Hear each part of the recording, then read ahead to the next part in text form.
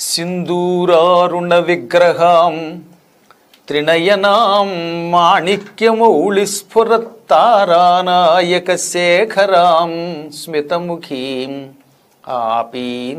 ఆపీనవక్షోరుహాం పాణిభ్యాం అళిపూర్ణరత్నచషకం రక్తోత్పలం బిభ్రతీం సౌమ్యాం రత్నఘటస్థ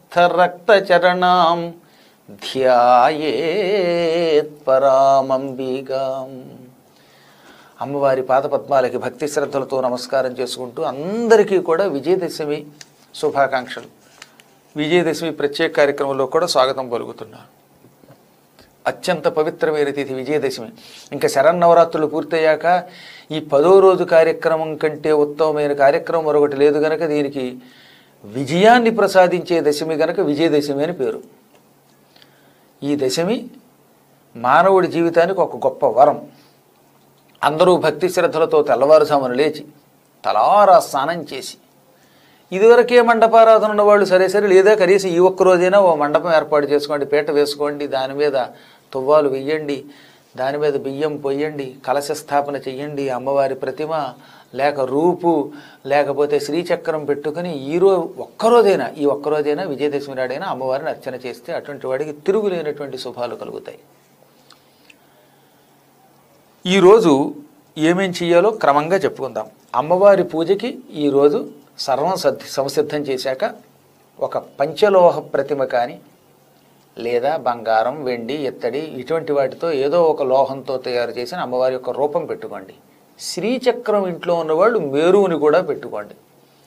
ఆ మేరువుని లేక అమ్మవారి ప్రతిమని ముందు పంచామృతాలతో అభిషేకించండి. తర్వాత జలంతో అభిషేకించి శుద్ధి చెయ్యండి. దానికి యథాశక్తిగా కుంకుమ పెట్టండి. అమ్మవారి విగ్రహాలు పెద్ద ఉన్నవాళ్ళు చక్కగా అమ్మవారికి అలంకారం కూడా చెయ్యండి. ఈరోజు అమ్మవారిని లలితా పరాభట్టారికగా రాజరాజేశ్వరిగా విజయదుర్గగా ఏదో రకంగా అలంకారం చేసుకోండి. అమ్మవారి పూజలో తప్పక ఈరోజు గంధం అగరత్తులు కర్పూరం సుగంధ పుష్పాలు ఉండేలా చూసుకోండి. ఈరోజు అమ్మవారికి తప్పక ఇవ్వవలసిన పువ్వులు చెప్పారు. అంటే వీటిలో అన్ని పువ్వులు దొరికితే సరే సరే కనీసం కొన్నైనా వాడండి. మందార పుష్పాలు గానుగ పువ్వులు అశోకం సంపంగి గన్నేరు మాలతి బిల్వ పత్రాలు తామర పువ్వులు కలువ పువ్వులు. వీటిని ఈరోజు అమ్మవారి పూజకి సమర్పించండి. ఈరోజు కొబ్బరికాయ దానిమ్మ నిమ్మ అరటిపళ్ళు నారింజ పనస మారేడుకాయ వీటిల్లో ఏవైనా కొన్నైనా నైవేద్యానికి సిద్ధం చేసుకోండి. దశమి నాడు ఈ పంచామృతాభిషేకం జలాభిషేకం అయిపోయాక అమ్మవారి విగ్రహాన్ని శుద్ధి చేసి నువ్వులతో నల్లని నువ్వులతో అభిషేకం చెయ్యండి ఇది దేవీ భాగవతంలో తృతీయ స్కంధంలో ఉంది. నల్లని నువ్వులతో దశమి నాడు అమ్మవారి విగ్రహానికి నెయ్యి అభిషేకం చేసి ఆ నువ్వులు కొంచెం ప్రసాదంగా తిని ఎవరికైనా పంచిపెడితే దానం పుచ్చుకునేవాడికి నువ్వులు దానం పుచ్చుకునేవాడికి ఇచ్చేస్తే భయంకరమైన శని దోషాలు యమభయాలు అన్నీ తొలగిపోతాయి. పూర్వకాలంలో నువ్వులతో అభిషేకం చేసేవారు. ఇదేదో నేను పద్మాకర్ గారు చెప్పిన మాట దేవీ భాగవతంలో ఉన్నది అమ్మవారి కథలో చెప్పిన మాట. ఈరోజు అమ్మవారికి వరసగా ఐదు రకాల అన్న అన్నాలు నైవేద్యం పెట్టడం చాలా మంచిదని శాస్త్రం చెబుతున్నది. అన్నీ ఉంటే సరే సరే లేకపోయినా పర్వాలా? గుడ అన్నం అంటే బెల్లంతో తయారు చేసిన పొంగలి దధ్యన్నం పాయసాన్నం పులిహేర స్నిగ్ధౌదనం అంటే నేతితో పోపు పెట్టబడిన అన్నం. వీటిల్లో ఐదు పెట్టగలిగితే ఐదు. కనీసం ఒక్క అన్నమైన నైవేద్యం పెట్టండి. మీరు తినండి ఇతరులకు కూడా వాటిని పెట్టండి. అమ్మవారి శ్రీచక్రాన్ని కానీ లేక ఆ తల్లి మేరువుని కానీ శ్రీచక్రంలో కూడా మేరువు కైలాస ప్రస్తారం భూప్రస్తారం మూడు ఉంటాయి. అందులో ఏదో ఒక శ్రీచక్ర యంత్రం లేదా రూపాన్ని. లలితా సహస్రనామములతో దేవి త్రిశతితో ఖడ్గమాల స్తోత్రంతో శ్రీ సూక్తముతో దుర్గా సూక్తంతో కుంకుమతో పూజ చేయండి. పుష్పాలతో వాటితో కూడా పూజ చేయండి యథాశక్తిగా. ఈ పూట సాయంత్రం వేళ జమ్మి చెట్టుకి సంస్కృతంలో సెమి అంటాం తెలుగులో జమ్మి అంటాం. సెమీ పూజ చేసి తీరాలి జమ్మి చెట్టుకి పూజ చేయాలి. సెమి శమయతే పాపం సెమీ శత్రు వినాశిని. అర్జునస్య ధనుర్ధారి రామస్య ప్రియదర్శిని. ఈ శ్లోకం ఒకటి ఉన్నది. దీని కాగితం మీద రాసి ఆ జమ్మి మొదట్లో వేసేయండి. జమ్మి చుట్టూ ప్రదక్షిణ చేయండి. జమ్మికి దూరం నుంచి దీపం ధూపం ఇవ్వండి. చెట్టు మొదట్లో ఎప్పుడు గుచ్చకూడదు. ఏవి? అగరత్తులు. ఈ అగరత్తులు వేడిక చెట్టు చచ్చిపోతే అది మహాపాపం. చాలామంది చేస్తున్న పెద్ద పొరపాటు. ఆ దీపం తీసుకెళ్ళి మొదట్లో పెడతారు. అంటే చెట్టును చంపేద్దామని. గురువుగారి మీద భక్తి ఉంటే గురువుగారి కాళ్ళ దగ్గర దీపం పెట్టి ఆయన కాళ్ళు అంటించేయమనే. అమ్మవారి మీద దీపం పెట్టి అమ్మవారి చీర అంటించమనే. కాబట్టి మూఢభక్తి వేరు పెచ్చ వేరు. ఇలాంటివి చేయకూడదు మనం. దూరంగానే దీపారాధన దూరంగానే ధూపం పెట్టాలి. ఆ మొత్తం మీద ఈ శ్లోకం మాత్రం కాగితం మీద రాసి ఆ మూల పెట్టండి. శమీ శమయతే పాపం అనగా శమీ వృక్షం పాపాన్ని తొలగిస్తుంది. శమీ శత్రు వినాశిని శమి శత్రువులను తొలగిస్తుంది. అర్జునస్య ధనుర్ధారి అర్జునుడు ఒకప్పుడు గాంధీవం అనే విల్లు ఆ చెట్టు మీద పెట్టాడు. రామస్య ప్రియదర్శిని రాముడు కూడా ఈ చెట్టుకి ప్రదక్షిణ చేసి పూజ చేశాకే సీతాదేవి దొరికింది. అందువల్ల ఈ శ్లోకం రాసి అక్కడ పెట్టి ప్రదక్షిణ చేయాలి. జమ్మి పూజ సకల శత్రువుల్ని తొలగిస్తుంది. నిజం చెప్తున్నాను ఈరోజు పొద్దుట కానీ సాయంత్రం కానీ అమ్మవారి విగ్రహాన్ని అలంకరించి వెయ్యి తామర పువ్వులతో లేక వెయ్యి కలువ పువ్వులతో లలితా సహస్రనామంతో పూజించిన వాడికి వచ్చే ఫలితం అంతా ఎంత కదా. రామచంద్రుడే అలా పూజించాడు. ఈరోజు గురుపాదాలకి భక్తితో నమస్కరించి స్వయం పాకమిచ్చి ఆ గురువు యొక్క అనుగ్రహం తీసుకుని ఆయన అనుజ్ఞ స్వీకరించి అప్పుడు అమ్మవారిని పూజించాలి. ఒకప్పటి మాట రామచంద్ర ప్రభు లంకా నగరానికి వెళ్ళే ముందు అమ్మని పూజించినట్టుగా దేవీ భాగవతంలో ఉన్నది. నేను చెప్పిన కథ కాదు. కావాలంటే మీరు దేవీ భాగవతం చూసుకోండి. ఇదే కథ యథాతథంగా కాళికా పురాణంలో కూడా ఉంది. మరి కొద్దిసేపట్లోనో కొన్ని గంటల్లోనూ రామచంద్రుడు లంకా నగరానికి వారధిగట్టుకు వెళ్ళాలి. ఈ లోపు ఆయన ఆ రోజు అదృష్టవశాత్తు ఆయనకి తెల్లవారితే విజయదశమి. అందుకని ఆయన ఏం చేస్తే తొందరగా విజయం లభిస్తుంది అని ఆలోచిస్తూ ఉండగా అదృష్టవశాత్తు రామచంద్ర ప్రభు సన్నిధానంలో నారద మహర్షి ప్రత్యక్షమయ్యాడు. నారదుడు రాముడిని ఆశీర్వదించి రాముడు కూడా భగవంతుడైనా ఇప్పుడు ప్రస్తుతం మానవ రూపంలో ఉండడం వల్ల నారదుణ్ణి గురువుగా భావించి భక్తితో పూజించాడు. నారద సీతా దర్శనం అవ్వాలి. తిరిగి ప్రియ సమాగమం కావాలి. రావణుణ్ణి నేను జయించాలి. శత్రువుల మీద విజయం పొందడానికి ఏదైనా ఒక సులభ మార్గం చెప్పవా అంటే అది అమ్మవారి పూజ నీ అదృష్టవశాత్తు తెల్లవారిది విజయదశమి. నేను ఈ సముద్ర తీరంలో ఇసుకతో అమ్మవారి విగ్రహం వాడి చేయిస్తాను. ఆ అమ్మవారిని ఈ రాత్రి నువ్వు దీక్షలోకి వెళ్ళి దర్భల మీద పడుకుని ధ్యానించు. రేపు ఉదయం అమ్మని ఎలా పూజించాలో ఆ పూజా విధానం నేను దగ్గర నుండి చేయిస్తాను. ఒక వెయ్యి ఎనిమిది తామర పువ్వులు తెప్పించు. వాటితో అమ్మవారిని పూజిస్తే తిరుగు లేకుండా నీకు విజయం లభిస్తుంది. అనగా తెల్లవారేసరికి వెయ్యి ఎనిమిది తామర పువ్వుల అని ఆశ్చర్యపోయాడు రాముడు. ఆశ్చర్యపోకు. హిమాలయాలలో సౌగంధిక పుష్పాలను ఉంటాయి. వెయ్యి రేకుల తామర పువ్వులవి. ఘుమ ఘుమ ఘుమలాడిపోయే వాసనతో ఉంటాయి అవి. ఆ పువ్వులు ఈ రాత్రికి రాత్రి తీసుకొచ్చి నీకు ఈ శక్తి ఉన్నవాడు నీ పక్కనే ఉన్నాడు. ఆయన తలుచుకుంటే రాత్రికి రాత్రి వెయ్యి ఎనిమిది పువ్వులు వస్తాయి తెల్లవారగానే ఈ పువ్వులతో అమ్మని నువ్వు పూజించవచ్చు అనగానే ఎవరు ఆయన అన్నాడు రాముడు ఏమి ఎరగనట్టుగా ఇంకెవరు మన మారుతి ఆంజనేయుడు ఉండగా మనకి లోటు ఏమిటన్నాడు నారదుడు. వెంటనే రాముడు నారదుడు చెప్పినట్టే ఒక వెయ్యి ఎనిమిది సౌగంధిక పుష్పాలు సుగంధంతో కూడిన వెయ్యి రేకులు కలిగిన తామరపూలు తెచ్చిపెడతావా మారుతి అంటే రామచంద్ర ప్రభు నువ్వు ఆజ్ఞాపిస్తే చెయ్యనా అన్నట్టు ఆయన. అప్పుడు నారదుడు నాయన ఒకటి గుర్తుపెట్టుకో ఖచ్చితంగా వెయ్యి ఎనిమిది పువ్వులే తేవాలి. సహస్ర మీద ఎనిమిది ఎక్కువ ఉండాలి. అష్టోత్తర సహస్రం అనమాట ఈ ఒక వెయ్యి ఎనిమిది కంటే ఎక్కువ తేకూడదు తక్కువ తేకూడదు. ఖచ్చితంగా లెక్క పెట్టి రాత్రికి రాత్రి ఆ సౌగంధిక పుష్పాలు తీయంటే అలాగే నారద మహర్షి మీరు ఆజ్ఞాపించినట్టే వెడతానని హుటాహుట్టిన జై శ్రీరాముని ఆకాశ మార్గంలో ఎగురుకుంటూ వెళ్ళిపోయాడు హనుమంతుడు.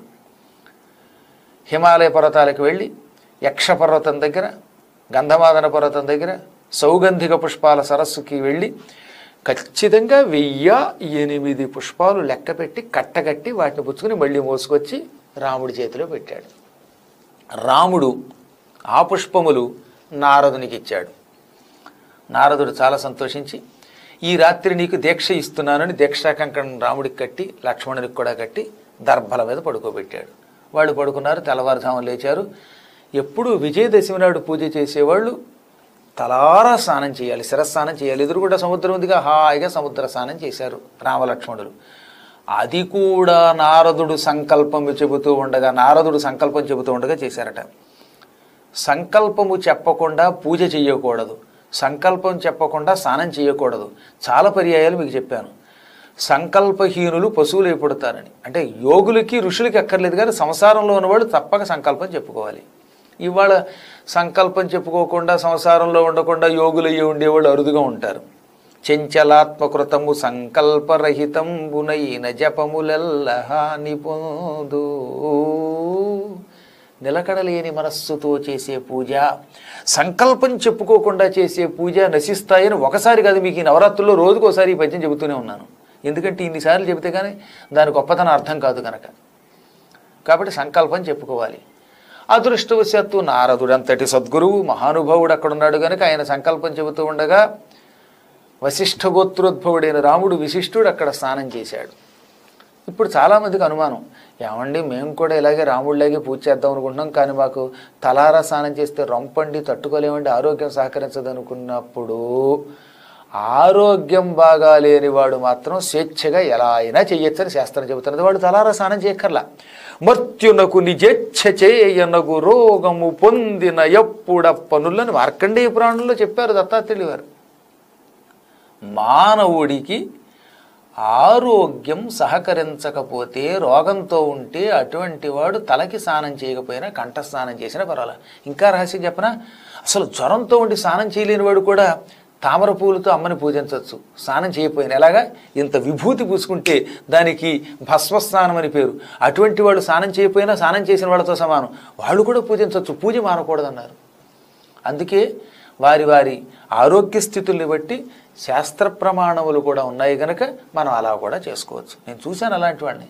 పాపం మంచం మీద కథలు లేకుండా పడున్న ఆయన ఒక ఆయన నేను దసరాలో పూజ చేయాలండి లేవలేనండి స్నానం చేయలేనండి అంటే అప్పుడు విభూతి పెట్టి చేసేయండి చేశాడు ఆయన.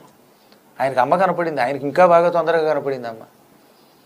భక్తితో ఉన్నవాడికి ఆర్తితో ఉన్నవాడికి అమ్మ కనపడుతుంది. ఇప్పుడు రాముడు సంకల్పం చెప్పుకు స్నానం చేశాడు హాయిగా శిరస్నానం నారదుడిచ్చిన దీక్షా వస్త్రాలు ధరించాడు. తదనంతరం అమ్మవారి యొక్క సైకత ప్రతిమ అంటే ఇసుకతో తయారు చేసిన అమ్మవారి విగ్రహాన్ని పెట్టుకున్నాడు. అదే మనమైతే ఏం చేయాలి ఇళ్ళలో?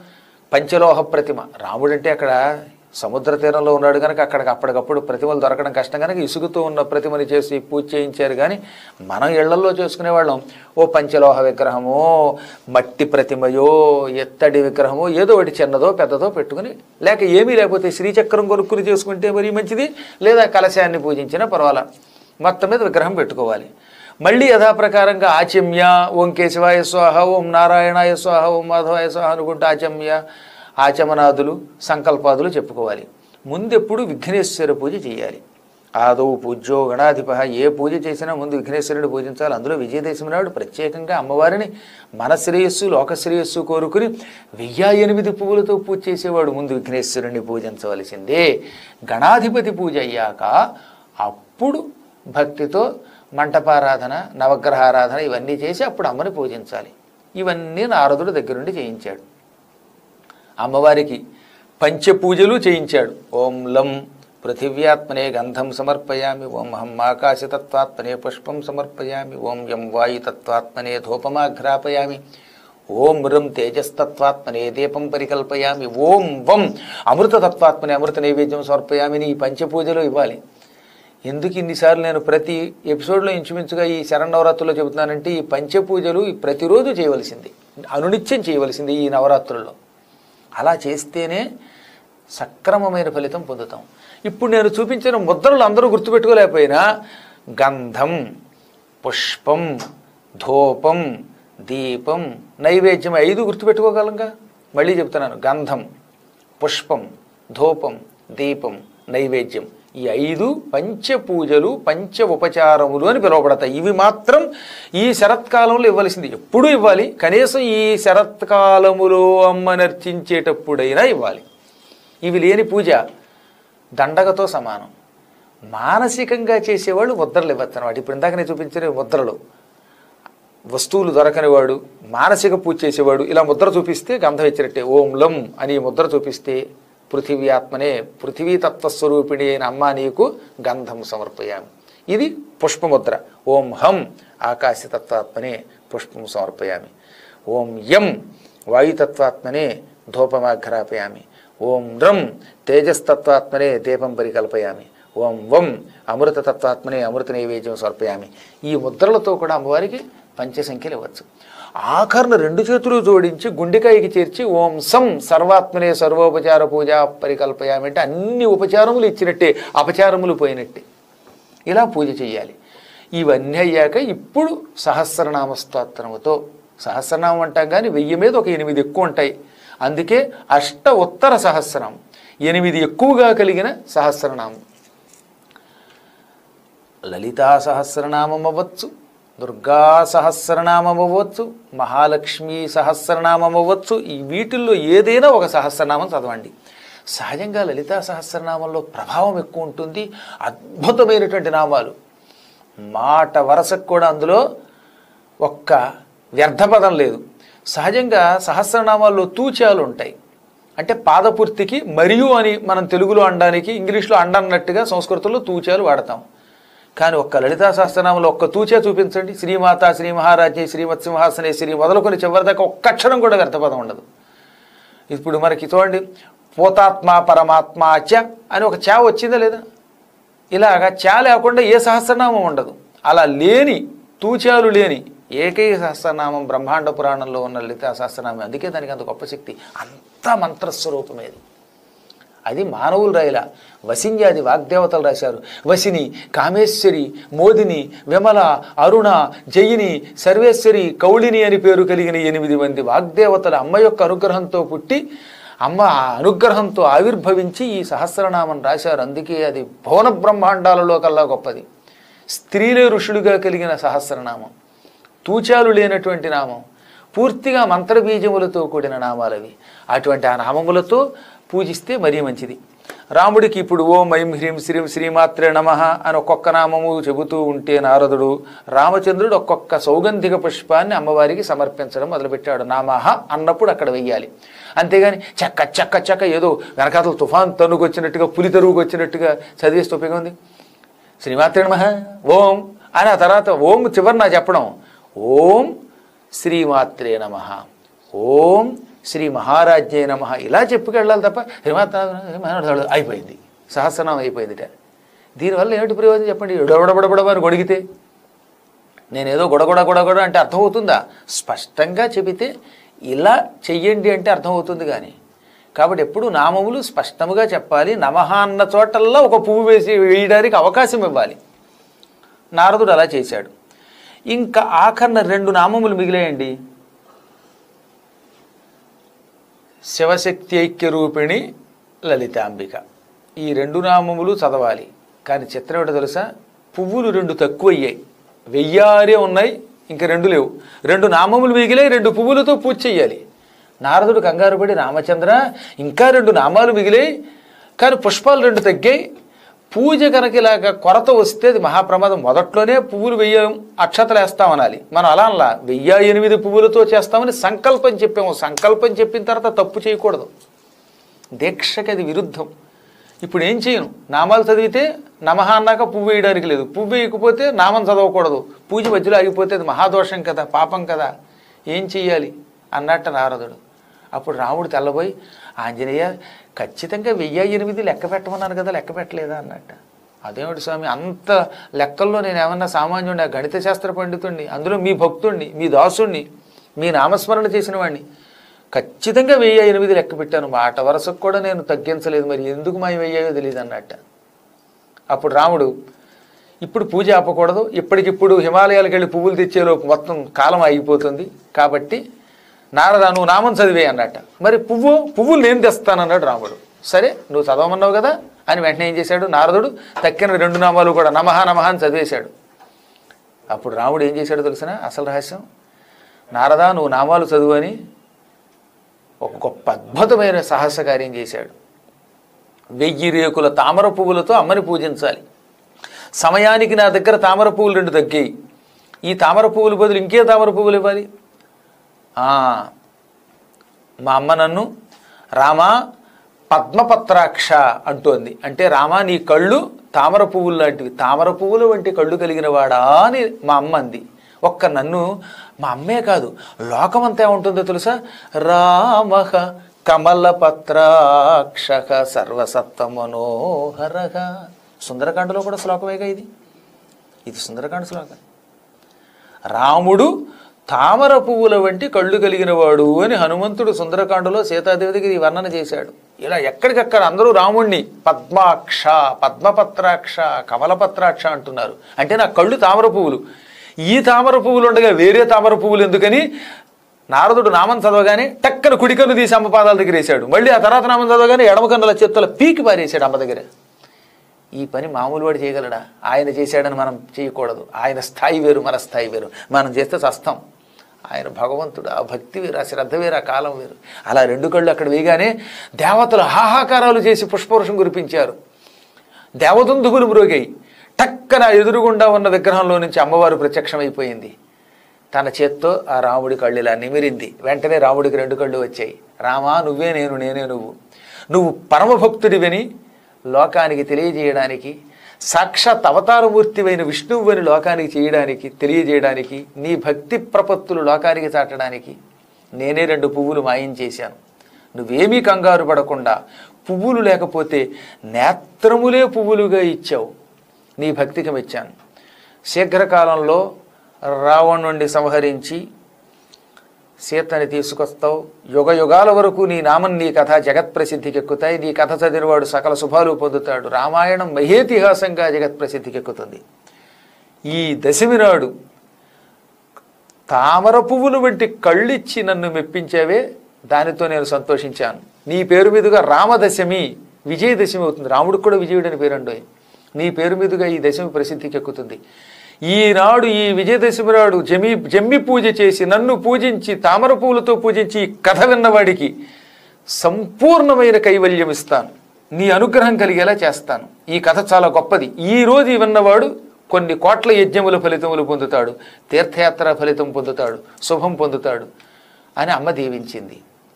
ఆ కథ అందుకే ఈరోజు మనం కథ అక్షతలు చేత్తో పట్టుకుని అక్షతలు చేత్తో పట్టుకుని ఈ కథ విని ఆ అక్షతలు అమ్మ పాదాల దగ్గర వేసి ఆ తర్వాత నెత్తి మీద వేసుకుంటే అమ్మ అనుగ్రహంతో సకల శుభాలు పొందుతాం. రాముడు చేసిన ఆ పూజా ఫలితం మనకు వస్తుంది ఈ విజయదశమి నాడు విజయుడు జమ్మి చెట్టుకి పూజ చేసి అమ్మవారిని పూజించి ఆ జమ్మి చెట్టు మీద ఉన్న గాంధీవాన్ని తెచ్చుకున్నాడు. అందుకి వల్ల కూడా విజయదశమి అని పిలువబడింది. విజయునికి విజయము చేకూర్చి పెట్టిన దశమి కాబట్టి కూడా విజయదశమి అయ్యింది. ఈరోజు అర్జునుడు గాంధీవాన్ని తెచ్చుకున్నాడని జమ్మికి ప్రదక్షిణ చేశాడని అమ్మని పూజించాడని మనం తలుచుకుని ఆ కథాక్షతలు కూడా అమ్మ దగ్గరేసి ఆ అక్షతలు ఎత్తి మీద వేసుకుంటే అర్జునుడికి అమ్మవారు ప్రసాదించిన విజయం మళ్ళీ మనకి లభిస్తుంది. అంటే ఇటు రామకథ అర్జున కథ ఇవన్నీ కూడా మనం గుర్తుకు తెచ్చుకోవాలి. ఈరోజు తామర పువ్వులతో పూజించండి కలువ పువ్వులతో పూజించండి ఇందాక చెప్పిన రెండు కథలు తలుచుకోండి కథాక్షతలు ఎత్తి మీద చల్లుకోండి జమ్మికి ప్రదక్షిణ చేయండి జమ్మిని పూజించండి అమ్మని పూజించండి పిండి వంటలు నైవేద్యం పెట్టి మీరు తిని ఇతరులకు పంచిపెట్టండి గురు పూజ చెయ్యండి. తద్వారా మళ్ళీ సంవత్సర కాలం అన్ని రంగాల్లో విజయమే లభిస్తుంది. ఈ విజయదశమి పర్వదినం అందరికీ సకల శుభాలు చేకూర్చి పెట్టుగాక.